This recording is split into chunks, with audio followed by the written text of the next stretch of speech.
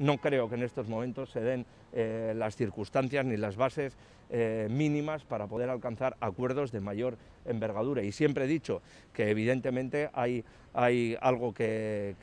nos distancia de H. Bildu, efectivamente es eh, la falta de una condena taxativa del terrorismo de ETA por su parte, el reconocimiento del daño causado y en tanto en cuanto eso no se produzca, evidentemente el Partido Socialista no va a participar de ningún proyecto compartido con EH Bildu y mucho menos tampoco si de alguna manera se pone encima de la mesa o prevalece encima de la mesa siempre eh, la cuestión identitaria, la cuestión nacional. Nosotros nunca vamos a participar de un proyecto que en su base fundamental está el, secesionismo, la apuesta por la independencia de, de, Euskadi. No queremos ningún proceso a la vasca, no queremos meternos en un camino como el que ha llevado a Cataluña y desde luego en ese camino nunca podrán contar con los socialistas.